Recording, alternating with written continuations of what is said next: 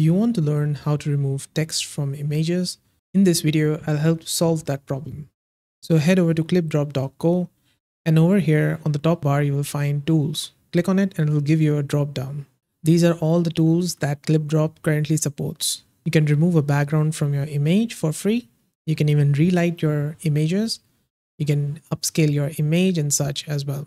Now the one we are going to look for is text remover. This is where you can remove text from any image.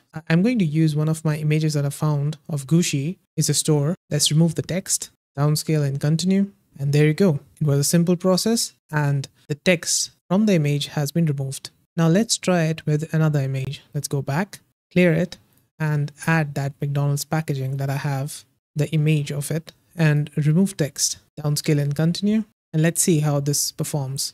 Okay, there you go. All the text from this McDonald's packaging has been removed. Now maybe you want to remove some other parts from it. For an example, this part. To do that, click on this, clean up imperfections. Choose the brush size and draw over it.